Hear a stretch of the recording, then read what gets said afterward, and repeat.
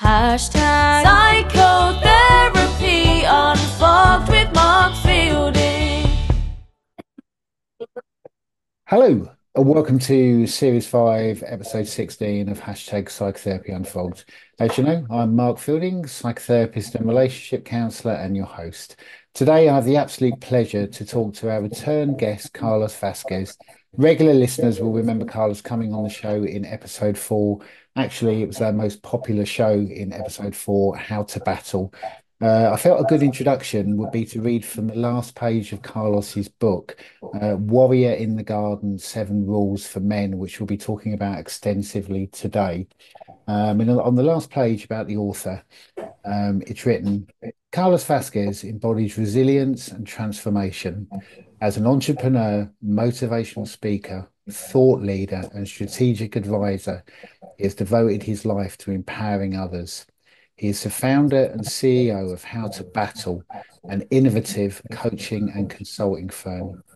Carlos's journey has been shaped by significant challenges, including 17 years of incarceration, incarceration, battles with homelessness and addiction, and enduring three grueling years in solitary confinement.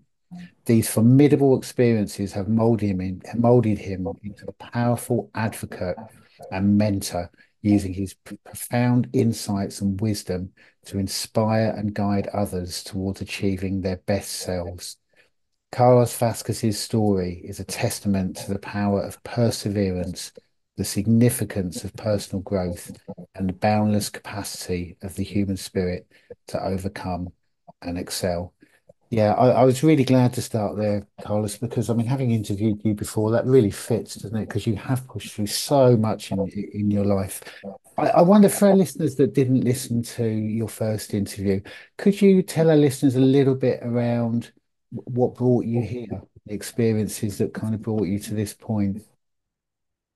Yeah, um, well, first of all, thank you. Um, for having me back, Mark. Uh, really, truly love your podcast um, and just love what you're doing.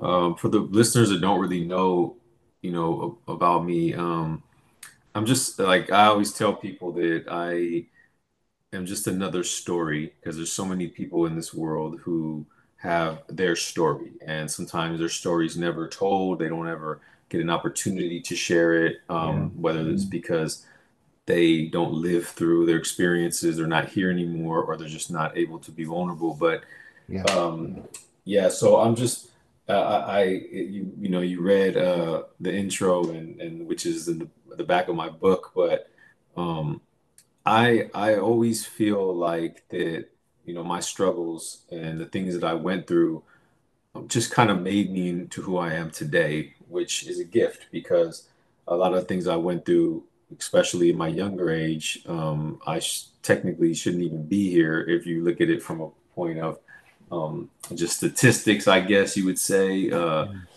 just just circumstances. But um, yeah, I I, um, I you know I grew up in a really good family, um, but my family broke. Uh, my father left, and um, because of that, my mother went into a depression and and I felt disconnected from my mother, so I ran away from home at 13 I ended up in the streets, sleeping in a car, uh, got addicted to drugs, alcohol, got involved with the wrong crowd. By the time I was 18, I was on my way to prison uh, with a 20 year sentence. And um, that became my new home. And I remember feeling like, um, you know, I would never get out of prison. You know, with that much time and the fact that I was young, I figured I would catch life a life sentence. And so for my first 10 years, I was just getting into more and more trouble and uh, I can't tell you how many times that uh, I got into a situation where I where I was potentially going to be catching a life sentence because of it, and you know now I being able to overcome that and not not real made me realize that you know God had a bigger plan for me. So um, after 10 years, I transformed my life in solitary confinement when I when I was out for three years, and um, I transformed my whole way of thinking and got out in my last four years in prison. Um, I started to help others. That's why I first started coaching with the lifers in prison. And I started to see the impact. Um, and they let me out early because I changed. And I got out three years ago. Uh, my three year anniversary is last month. And I've just been on a mission to um, to in living my life to the fullest, fullest every day, and I think that's why I've made so much progress since I've been out. And and in your just referencing your your first book, The Price, and we and the last interview, you talked a lot about um, finding your purpose, and Mm. and I guess that really comes through in your story. I mean, I, I guess you found your purpose. And before before we get into into the book, Carlos, could you just tell our listeners a little bit about the work you do? Because you do so much work with so many different groups now. I wonder if you could just just say a bit more about the work you're currently doing.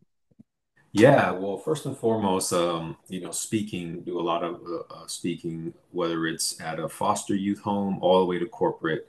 And uh, my messages are mainly based and framed around the principles for success, the price, the, the concepts for my first book. Mm, Um, I've molded them and adapted them to just different scenarios and different situations, different audiences. But I found that these principles that help me to transform my life um, actually uh, are universal principles that anybody can use in their life or in their organization to improve. So speaking um, has been a big thing for me, and I've been blessed with the opportunity to get many of those, and I'm still doing that. And uh, my, you know, I'm I wrote my second book, so. Um, writing is important to me and i'm already thinking about ideas for my third book mm, so being an author getting my message out there through that way uh, coaching so i'm doing coaching um, with the youth um, and then those that work with the youth so organizations that work with the youth coaching them but then also coaching the youth and then um, working as a consultant uh, with uh, corp- corporations you know working with them and helping them to uh, shift their mindset and their culture mm. and the way that they normally do things because they're always trying to improve. And so um, I've I've found my way into all those areas, and um, it's kind of like you know you just start something, you never know where you're going to go. You end up finding different doors, you open them, and then you know you enter there. So those are the things that I'm really doing now.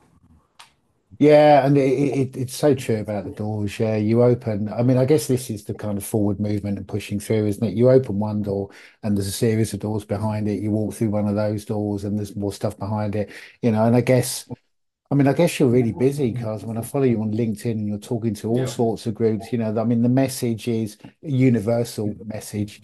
You know, I guess your story, I mean, I'm a big believer in post-traumatic growth and, and obviously there's, you know, nobody wants to experience trauma and there's a big negative side, you know, that people carry. But but I think your story is inspirational in that, you know, it is a story of post-traumatic growth. I mean, in, in our first interview, you referenced um Viktor Frankl and your story, even though Viktor Frankl was completely different story in some respects, very, very similar in, you know, in the way you've pushed through. So, so let, let's get into the book, Carlos. Um, I'm going to hold the book up for for YouTube listeners. Um, I loved the book. Uh, read it a couple of times, and I, and I also love it. I mean, Seven Rules for Men. You know, I mean, we talk a lot about men and mental health on this podcast. You know, and I, think it's really good to. I mean, it, it's. I mean, I would say seven rules for men. Yeah, I mean, I think some of the some of these, a lot of these rules probably would be applicable to you to anyone, you know, gender to women, you know. But just a book to speak to men, I think, is so important because there's not enough, I think, out there in you know, men's role in society. It's so confused now. So, what made you write this book? Why why did you write Yeah. this book, Carlos? Well, um, when I was in prison, I went to prison when I was um, 19 years old. I just turned 19. I went into prison. I wasn't a man yet, and I walked into prison.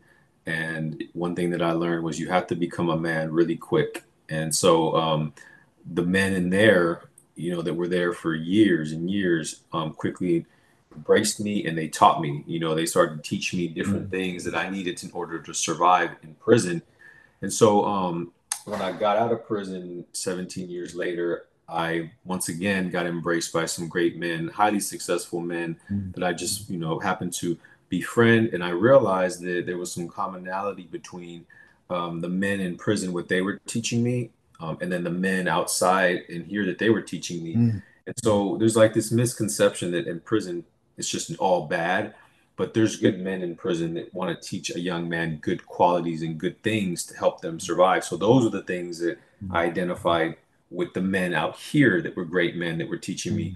mm, So I uh, were able to condense it down to seven things that I noticed that um, great men embody. And so Mm. um, that inspired me to write the book because when I got out, I, I realized like, okay, money doesn't necessarily make a man happy. I know plenty of people with all the money they need that aren't happy, aren't fulfilled, still dealing with addictions and all Yeah. these things. And then other men who don't have that, but they are happy. So I I just analyzed it. I did some um, actual group sessions with men to get to learn more about them. And then so for me, it was like, okay, now I want to get this message out there so that if a young man who hasn't had a positive male role model, doesn't understand what it means to be a man today, Mhm. can pick this book up and have like a blueprint on what that is and a foundation to build upon. So, um, yeah, it's me just identifying a problem and um, Yeah. and, and and writing about it and sharing it with uh, other men. So, Yeah, and I guess in a way, really, through the book, you mentoring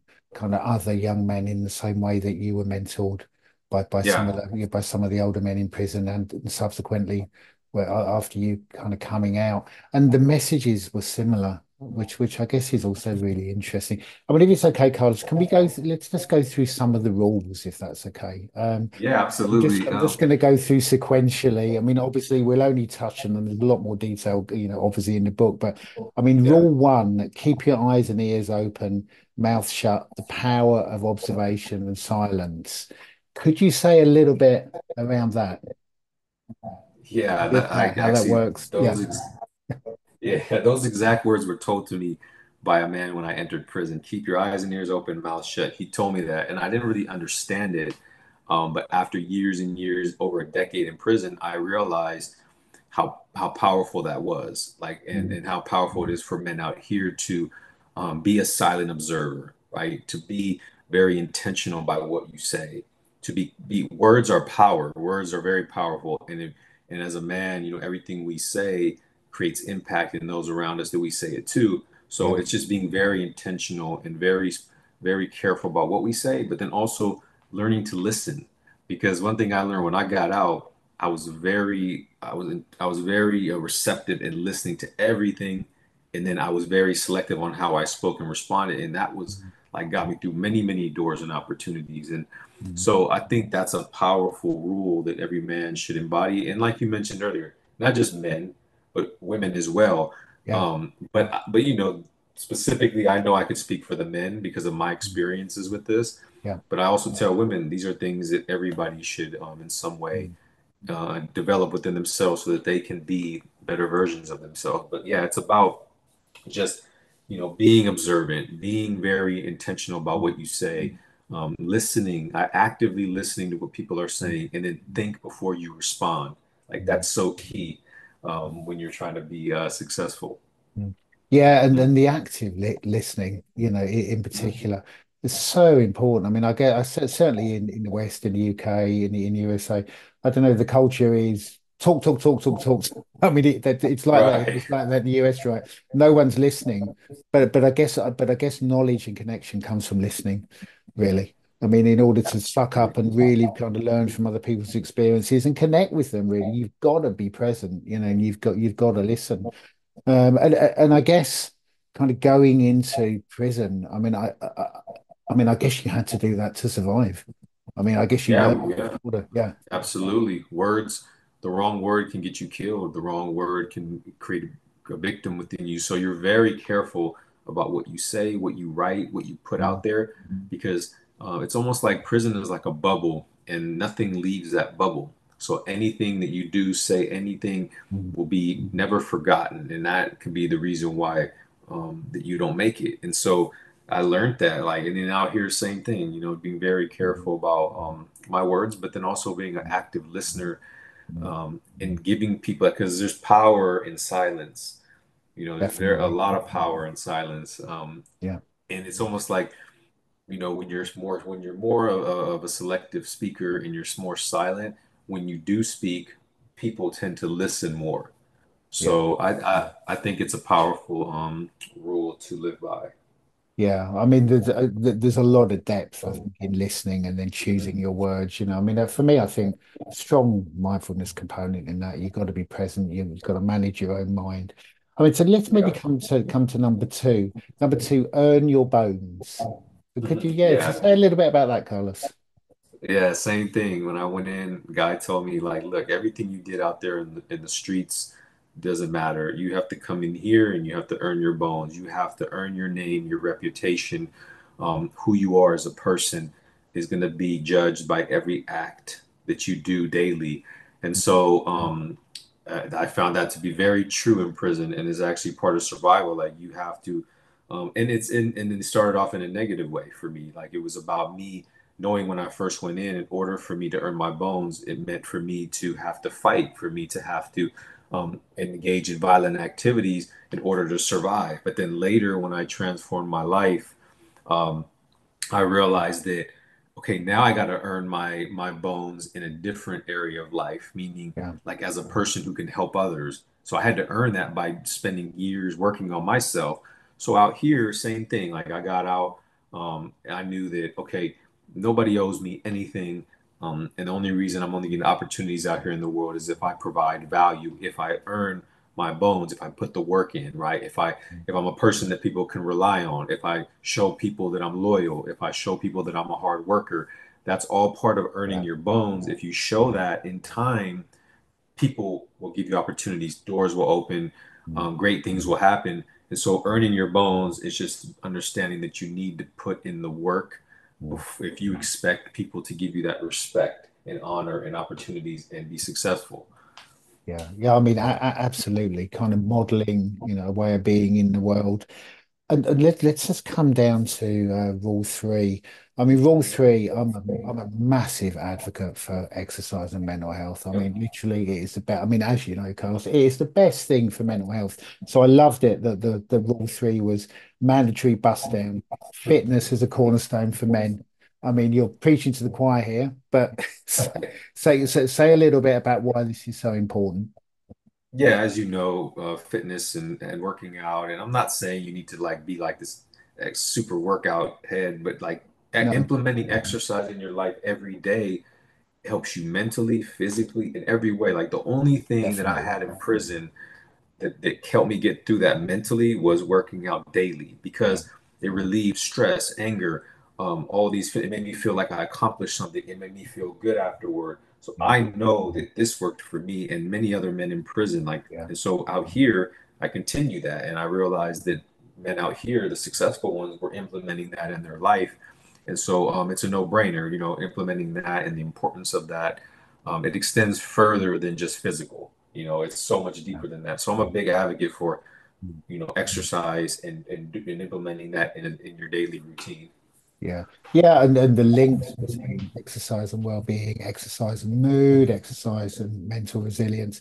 So, so important. Yeah, I'd like to say, Carlos, I mean, I guess somebody, I mean, everyone's got different kind of capacity for exercise, but even a walk, you know, I mean, Mhm. even getting Yeah. out, going for a walk, you know, it, it kind of it creates it, it creates endorphins, changes the brain. I mean, for mental health, it is absolutely the, the best thing. And so let's just come to rule, uh, to rule four. So cell time, uh, the art of solitary growth. Another one I really resonated with. Say say a bit more about what you about rule about this rule, Carlos, what you mean.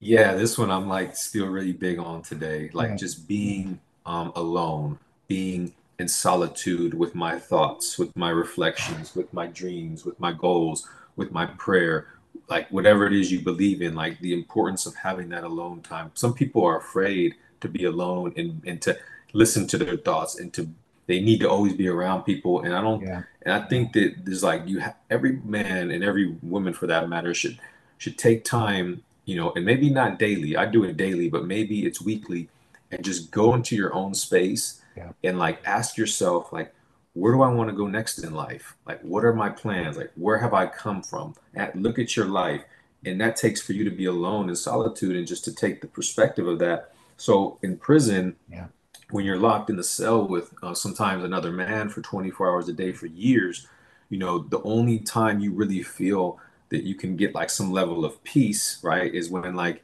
you're alone. So like there would be a routine where like my cellmate would go to the yard for a couple hours, I would stay in the cell and get that moment of cell time, that clarity to like, you mm, know, even just talk to myself if I wanted to.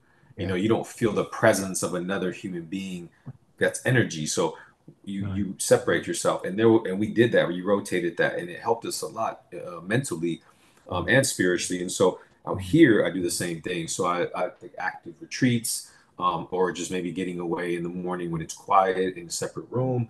But this is very important if you want to grow as a person. So Yeah, yeah, and I would really agree with that. I mean, whether it is, yeah, just getting out for a walk on your own, going for a walk in Mhm. nature, meditation, meditation, reading, it's all sorts of ways to have that solitary time. But I don't know whether you'd agree with this, but but again, I think in the West, you know, it, it's it, we live in a society of constant noise yeah, constant noise, you know, and and you know, and being busy, isn't it? It's almost like the, you know, the God in the West is being busy, but you know, but I think being busy, it doesn't give us that time to reflect, to sit back, to have solitary time, to plan, to grow, to it's just constant future, isn't it? I don't know whether you, yeah. you, you yeah, you see it the same way.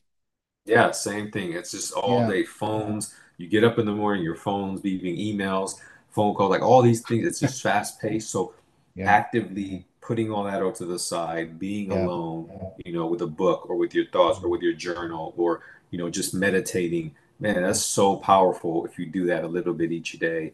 Um, if you can implement that, you, you it'll help a lot, especially I know from experience in other men, especially with men, because men have a lot of responsibility. They carry a lot on their shoulders, a lot of men, and um, Mm. th- it's it's critical to have that time, you know. Yeah, definitely. And, and I think depending on the individual, you know, without that time, I think the, the capacity to get overwhelmed, to get angry, to get frustrated, it's just there, isn't it? You know, people just people just get overwhelmed and then that kind of spills out into their life, you know, in lots of different ways. And and also kind of staying on the shore. I mean, I'm just looking back at, at your first book and learning and personal development. I mean, this is something you've done, you know, in solitary time, you still do in solitary time it's a it's a really important part of your program, isn't it? Could you just say a little bit around, I don't know, how, how it's changed your life and and you know how you you know talk about kind of the power of learning to some of the groups that you work with. Yeah, um, man, personal development, just Yeah, learning, reading, um, going to groups has been critical in my life. yeah, Um, you know, getting help from people who can give me life advice on next steps is so yeah, important. And yeah, I think uh, I wouldn't be here today if it had it not been for like the amazing people. And some of those people aren't even alive anymore. Some of those people have come to me through books, right? Through literature. You know, like uh, you yeah, mentioned Viktor Frankl. Like I never met him, you know, like, but his story, his book that he left behind mm, impacted me in such a profound way, like many others. So that's why for me, it's like giving that back to the others now. You know, if I, you know, leave this earth tomorrow, at least I have something here that can like help mm. others potentially. You never know who's going to pick that book up or no, listen to that piece of content or listen to this podcast. So um, I think that men uh, uh, and women, but men, um, since that's kind of what we're speaking on, mm, it's like looking for that, seeking out that that help mm, in whatever way that you need to. mm, Um, being vulnerable, being open is only going to help you be better. It's not a weakness; it's a strength. Um, and I know because, like, I oh, I was one of those people that felt like at one point that it was weak to seek help, but once I realized that that's like just not mm. true, um, and that actually help makes you stronger then uh, I'm now I'm just falling on it. So yeah. But but it's it, it's such an important message because. I mean, I don't know what the suicide rate for men is in the US, but it, but uh, over here, Carlos, it's really bad. I mean, the, the, the, I forget exactly what it is, but lots and lots of men not asking for help, internalizing, becoming really, really kind of, you know, really, really dangerously emotionally, you know, overregulated, and, and then just taking their own lives. It's so common, and I think this is a message for men because there is a, I guess there's the, the historic message, you know, that men have been on the on the on the receiving end of man up, don't show your feelings, a strong man doesn't ask for help.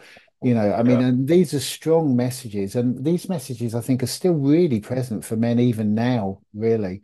You know, so asking for help, I think, can be difficult for men. I don't know, would would would you agree with that? It's quite difficult, I think, for some men to reach out and ask for help and be vulnerable. absolutely. And I I I was in a maximum security prison in California, Mm, um, some of the toughest prisons in the nation, and you're around some of the hardest, strongest men you can Mm, imagine, um, mentally, physically, in all kind of different ways. mm, And once I was exposed to that world and realized that those, even the men in there, those who sought help, you know, um, that they were able to even become stronger and eventually like overcome those those old ways and start to do good things right in life. I'm like, there's something powerful here. So for men out there thinking that it's a weakness, it definitely isn't because some of the strongest men in the world actually um, seek help in any way that they can. And maybe it's just starting off personally on your own, you know, like just doing your own stuff. And that's where I started. And then eventually getting out and learning from others. Um, mm. I think that's important. Yeah. I mean, the asking for help, I think, is so important. And, and you know, and I think a lot, lots of people internalize, you know, emotions, you know, women do it, men do it. I think men do it more, honestly, you know, but I think the danger with internalizing is, I mean, some people can do it for 40 years until the day they can't do it, you know, and then it all starts kind of overflowing. So, I mean, that I think is such, such an important message. So, so let's move on to rule five. Yeah, rule five. So Staying dangerous, embracing the warrior within. Could you say a little bit, bit more about that rule? Yeah, staying dangerous was something that um, used to be told to me when I was in prison as well. And I didn't really fully understand what it meant when I started to hear it.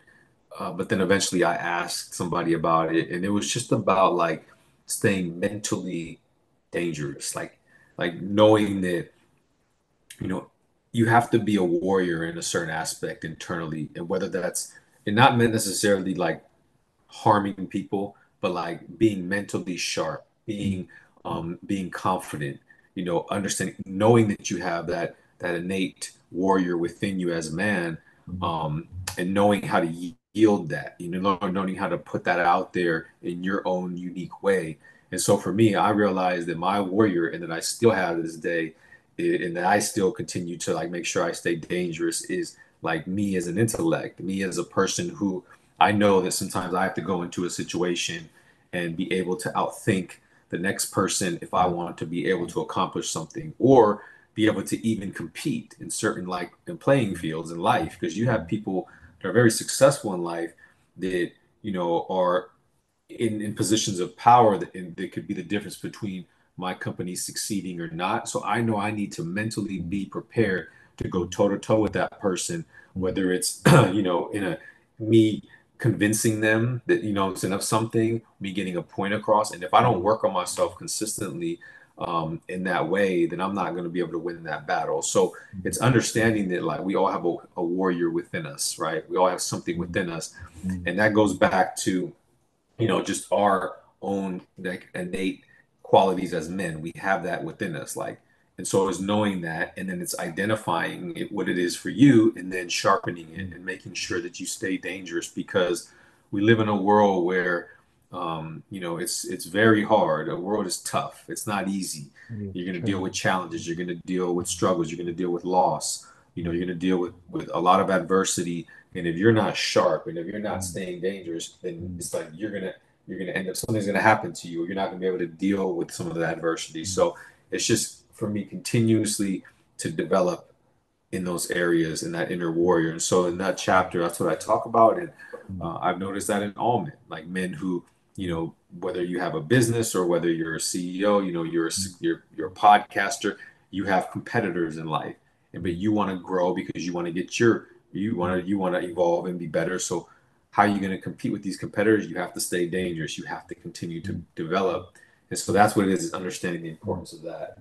Yeah, and, and how do people do that, Carlos? It's going to be different for everyone, but I mean, what would you say? I mean, how do, how do people stay dangerous, stay sharp, stay, you know, kind of engaged? What, what what can they do to really, really kind of connect with that that inner warrior?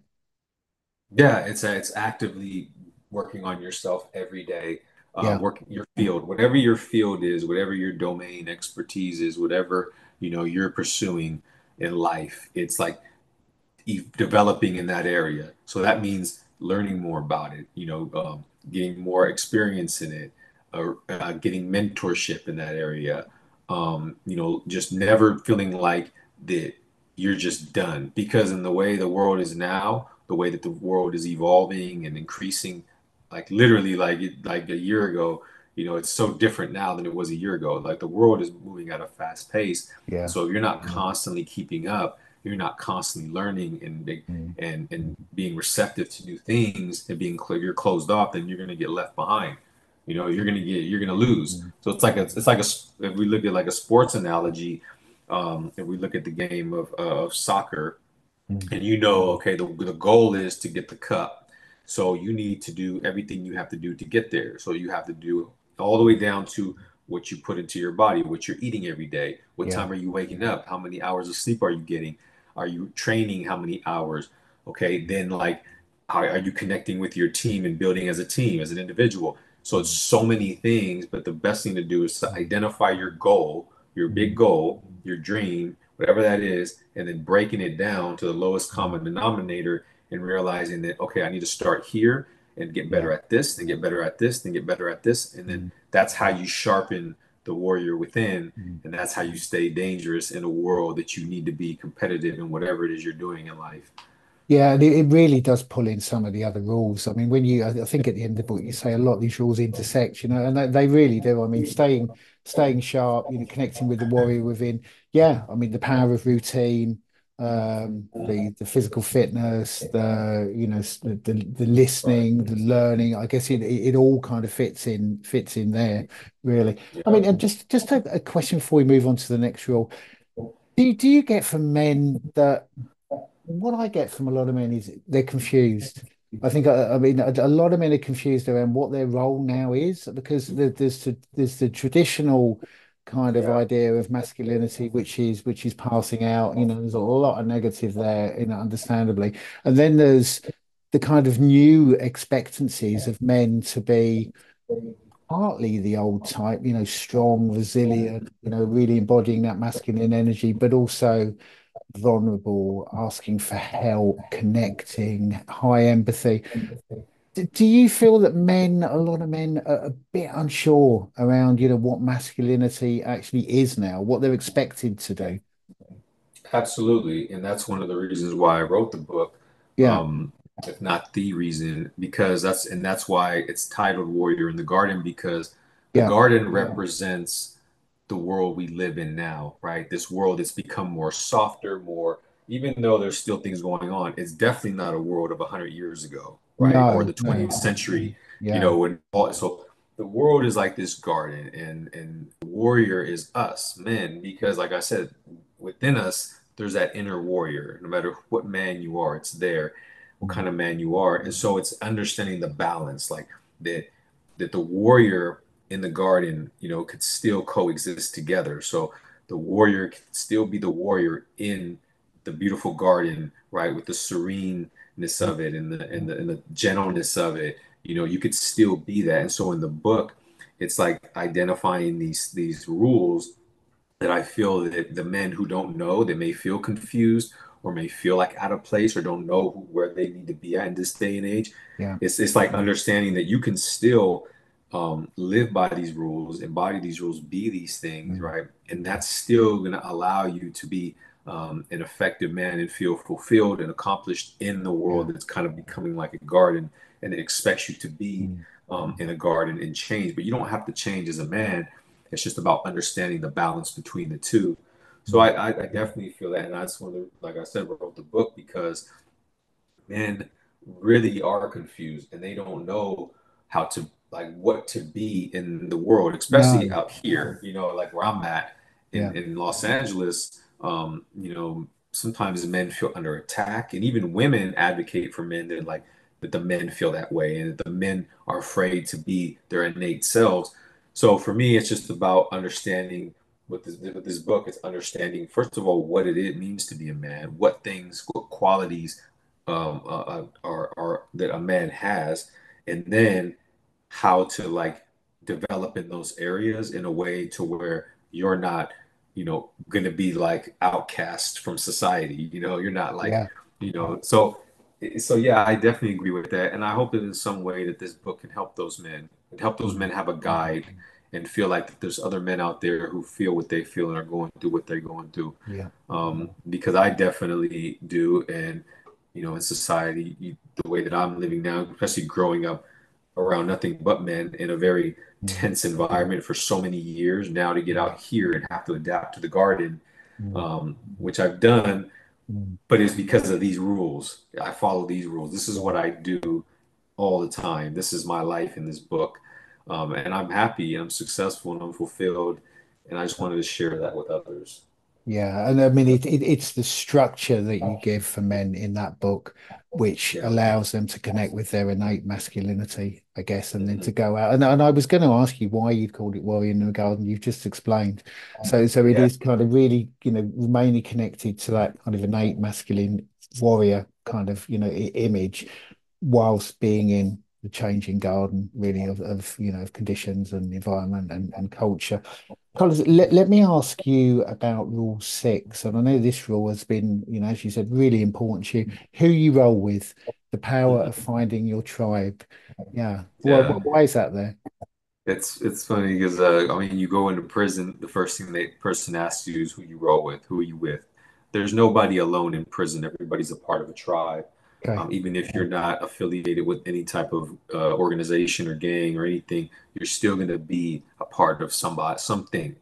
Mm, Um, even religious, you know, Christians, Muslims, mm, Catholics have their their tribes. So um, when I learned that and I went into prison, I'm like, okay, everybody has their tribe. And so at first it was just about seeing it in a negative way that, okay, these are gangs, these are tribes, and we're just hurting people. But then eventually I once I transformed my life, my tribe became a group of men from diverse areas, just different backgrounds, and we built each other up. We worked, we helped work on each other. Mm, We mentored each other. We had each other's back. We fed each other. mm. I realized the power of that, like to not feel alone in this world, Yeah. that you have other men that can help you become stronger. They can help you deal with the challenges of life. They can be there like your brothers. And I think this goes back even further, like in the beginning, like um, I read a book called uh, Tribe. Um, forgot the author, but Yeah, I've read talks I've read that book. Yeah. yeah, yeah, he talks about that, like how Mm, um, like we have a tribe mentality, right? We're gonna be a part of something. Um, and so me identifying that, understanding like, okay, so who are those people in your tribe? Yeah. What tribe are you creating? What tribe are you a part of? So as a man, like be very um, careful and be very intentional about who is your tribe, right? And like I said in the book, you could start off with like I did when I got out. I joined um, a, a Catholic men's group uh, called Fishers of Men. We meet every Wednesday morning at 6:30, and we get together and we literally just we pray, we talk to each other, we build, we, and we talk about our challenges, our adversity, and it's so empowering. And these are men that at any time I can text or call and get help from, guidance, assistance. That's the type of tribe that a man needs to be a part of. And maybe it's not a religious one, maybe it's a different kind. Maybe it's just a group of guys who get together and drink beers and just talk and shoot the shit. That's cool too. Yeah. But I say you have to Yeah. find your tribe. I feel like no man can be reach his full potential without being a part of a tribe. Yeah. Um, and so that's why I think this is so important in this rule. Yeah, and you know what, Carlos? I, I, I so agree with that. And, and I have to say, men are so bad at that, aren't they? I mean, especially hmm men moving into middle age, you know, I, you know, I mean, what happens? I mean, this is a bit of a generalization, but I think it's often true. Men lose their connections, you know. I, Yeah. I I think, and this is, I mean, I'm going to make a massive general statement around gender, but I just think women are so much better at this than men. Men, men, men's lives can just shrink if they're not careful. They don't keep in touch with friends, you know, and that is a terrible thing. Men become isolated. I mean, is that something that you see as men tend to get older? Tend to Yeah, absolutely, people. Yeah, So isolated. I know so yeah, many men that like every day their life just consists of getting up, going to work, coming back, and then isolating themselves in a room watching TV, yeah, like just for years and years and years. And then I'm yeah, like, but when I, I I've actually actively put together a men's group where I identified these men, men from all walks of life, some retired, some doctors, some lawyer, whatever, yeah, business people that were doing this, and I brought them all together in a room and I like ex- I was vulnerable. They started to be vulnerable, and just in that one um, little, just in that moment, just in that moment we were together, like it was just such a powerful thing. And then they all asked me like, "When are we going to do it again?" So maybe you be a leader in your in your community and start these groups for the Mm, men within your community mm, if you identify it. But yeah, it's so powerful to have these these these tribes, these men groups. So um, I'm I'm an advocate for it. Yeah, I mean, I totally agree. I mean, men's groups are kind of growing here. You know, there's uh, there's a few men's groups, but it's really, really small. You know, but so important for men to to be, you know, within groups and to share. And the group you were talking about, the Catholic group, wow, that that must be so nourishing, Carlos, to have people that you, that are just there for each other. Amazing. Absolutely, Yeah, absolutely. It's so important, and um, I'm I'm part of that one and another one, another group, and it's just uh, and I it's part of like going back to the other one, like you know, sharpening yourself and um, staying dangerous. You know, you you yeah, you, you stay dangerous by learning from other men around you yeah. for sure. Yeah. Yeah, and the group dynamic, you know, and I, I don't need to hmm tell you this, Carlos, but the group dynamic is so powerful, isn't it? I mean, sit, sitting in a group with other people who are, you know, open, or even if they're not open, and uh, and, and sharing, you know, it's just so, so powerful. So, so we, we'll be running out of time as I knew we would, but let's come to rule, rule, rule seven. I know this has also been really, really important in your own life. Um, kind of programming, structuring, discipline into your day. Could you say, talk a little bit about that one? Yeah, this is just like you mentioned, the power of routine, Mm, you know, mm, programming, getting into a program. Like mentally, I got through prison by programming, yeah. like having a certain thing I did every day at a certain time, consistently over time, helped me not only just not dwell on the time that I was in prison, to it allowed me to develop as a person. So once I changed my life around and I started to implement the routine of, of, of reading and studying and reflecting and writing and working out, all these different things. The days went by. I felt better. I was growing as a person. I saw the growth. And so, creating a program, I believe every man should have a program, should have a routine. agree. Routine, we, there's been all kind of studies about the health benefits of having a routine Yeah, um, and it just modeling that behavior for the younger people who are looking at you. It's yeah, seeing like, okay, my dad or my uncle, my brother, whatever, is very structured. He has a routine. He gets things done. He's making accomplishments. Because if you have a routine and you're implementing things that are positive, you're going to make progress in life, and people are going to notice that. definitely. So, Yeah, importance of that, I think that's critical too. And um, and a part of that routine is implementing some of these other rules, right? Bust down, you yeah, know, reflection, solitude. yeah, That's a part of it. So yeah. definitely important to have that program. Yeah, I mean, absolutely. To have a framework, you know, I mean, I, I I talk to a lot of clients about mental health scaffolding, which is kind of similar, really. There's things you do every day in order to promote your well-being and to push you forward. Learning would be one of those. Um, I mean, this has been, you know, fantastic. And I just wanted to kind of ask you, Carlos, at the end, what's your name? Can you just say what you don't have to say too much about it, but have, could you say a little bit about your next project?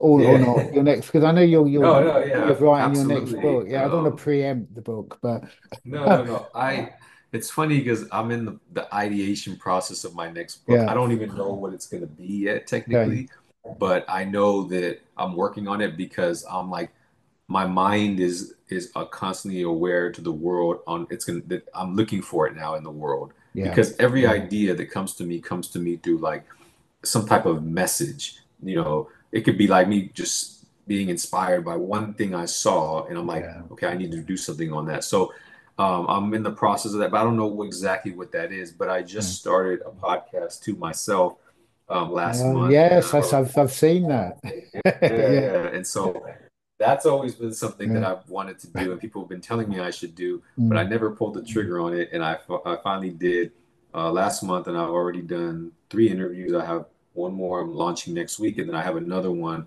um, that I'm recording um, for the week after. And so, but How to Battle podcast is just like, it's just incredible individuals who've overcome extreme battles in their life. yeah, Like some of the men that helped inspire me to write this book are that I've already interviewed, and then I have a young lady coming on there who had a stroke when she was a kid, and now she's like this huge um, Instagram, YouTube star, and just always smiling and happy, and just but her, but it's all about overcoming the battle, and then like finding like triumphing over the battle because now the person is actually using that battle as like to accelerate who they are today as an individual, right? To like and not letting that not being a victim to it right? But letting, but understand that the battle made them into who they're supposed to Yeah. be. So that's what the podcast. So that's my my my project I'm working on now, and um, yeah, and then uh, the book, next book, I'll probably have a solid idea within the next few months. Okay, great. Yeah, you must come on the show again to, Yeah, to promote your next book. How do people get hold of this book, Carlos? If if our listeners want to want to read the book, how, how do they get hold of it? Yeah, so um, well, first of all, the, the um, if you go to How to Battle on Instagram or Yep. um, How to Battle on YouTube and um, LinkedIn is Carlos Vasquez. Uh, there's a links that link to the book itself, which is on Amazon, but or you can go straight to Amazon, uh, put Warrior in the Garden, Seven Rules for Men, and my name, and then it'll pop up. Um, they can find it there. And uh, also, um, my website is howtobattle.com, which has every, you can purchase it from there. So, in any of those areas, you can um, purchase the book, but also find out other work that I'm doing in the podcast and um, stuff I'm doing on YouTube and stuff. So, yeah, all those areas you can find me. So, Yeah, and we'll, we'll I'll, I'll get all of your links after the show, Carlos, and we'll put our links, all of your links on our social media sites. Um, How to Battle probably is the best place. There's, there's so much content on there, isn't it, for for people? Just as a final question, Carlos, is there anything that you would have liked to have said today that I've not given you the opportunity to? Um, no, I, I really appreciate you giving me an opportunity to talk about my book. Um, this is actually the first time that I've done it.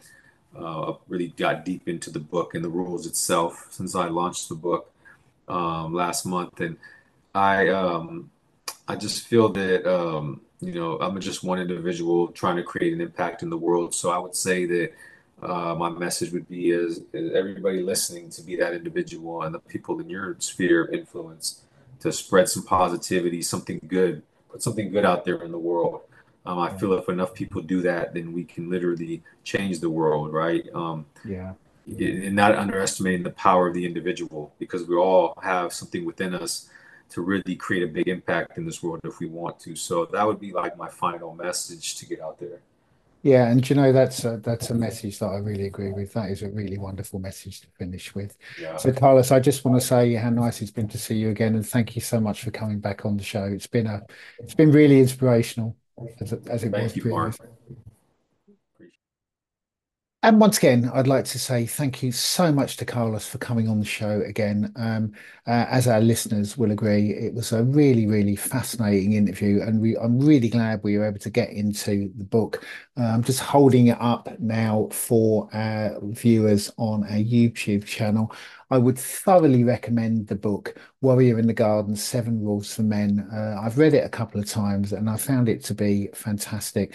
And Carlos draws on all of his experience, you know, both being incarcerated for 17 years and also, you know, after coming out and building his coaching business and, you know, inspirational, being an inspirational speaker, mentor, and all of the things that that Carlos does um, and the seven rules kind of underpinning a way for men to be in the world, giving men a framework, you know, for for being.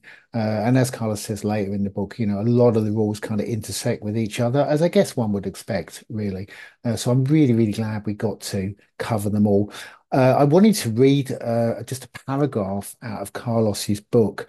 Um, and Carlos writes in the conclusion, this book is a call to accountability a mirror held up to your actions, a challenge to your convictions, and a guide to create a better path.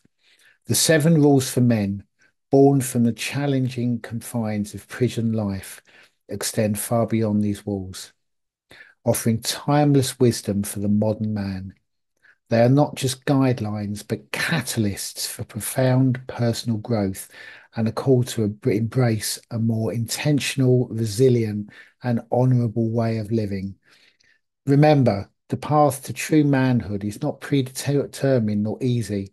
It is a path forged through discipline, resilience, courage, and introspection. So I, I had to read that, you know, because that really, really resonates with, you know, Carlos's kind of personal story and, you know, all of the life experiences he brings um, and all, also all of the growth through suffering Uh, I talk a lot about post-traumatic growth on the show, and, and post-traumatic growth is not always a given. Uh, and obviously, people that experience trauma, you know, I mean, they, there's a lot of darkness with the trauma, obviously, you know, and a lot of difficulty to to work through, you know. But but sometimes people do develop accelerated growth through suffering, and I think Carlos is, you know, a really really good demonstration of this, you know, and transmuting his own suffering and trauma to a life of helping others you know through all of the the aspects of you know of his of his business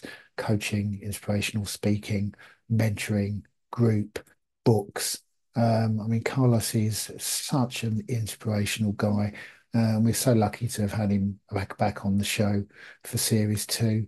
We talked a little bit around um, the benefits of exercise as one of the rules. I mean, as our listeners will know, you know, I'm, I'm a big fan um, of exercise for mental health. You know, it's it's uh, thoroughly backed up with research, so it was really great that that was in one of Carlos's rules. You know, exercise is so good for mood, mental resilience, um, so good for the brain really, you know, as well as the body.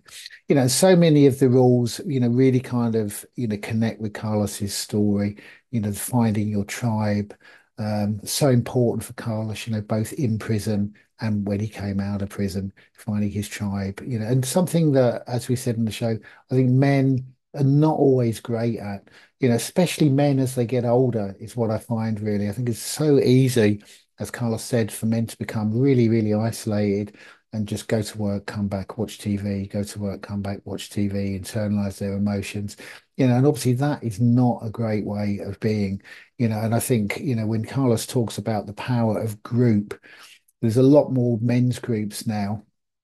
Uh, and some somewhat more focus on you know on men being in groups and sharing experiences. But I have to say, there there is you know a a lifetime, many lifetimes, generations of messaging to tell men not to open up, to be strong. You got to, to be a man. You can't ask for help, etc. Man up. You know, strong man doesn't show emotion. You know, all of these things are just passed down implicitly or explicitly. You know, through the generations, and I think it leaves men now really unsure really of their of their role you know. I think with a lot of men wanting to embrace the kind of idea of a new man you know a man that opens up their vulnerability that connects to others that connects to other men that shares that asks for help that you know kind of that, that, that lives a life where they're open and have compassion, you know, for, for others. And then that I think just bangs up against the traditional messaging around men being stoic and not sharing and not opening up their emotions, you know, and I think there is still a way to go.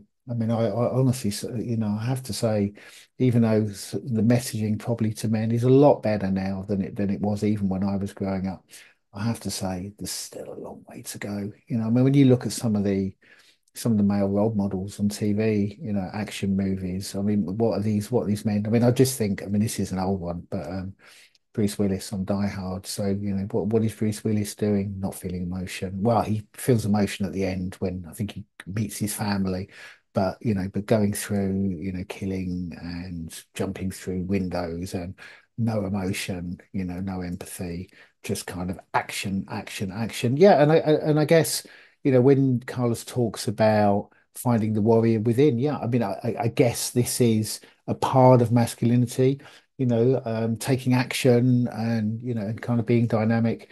But I think the way it's portrayed, especially through film, I think very, very one dimensional still, really. You know, the kind of cult of the man who doesn't show emotion um, I think is still very much there.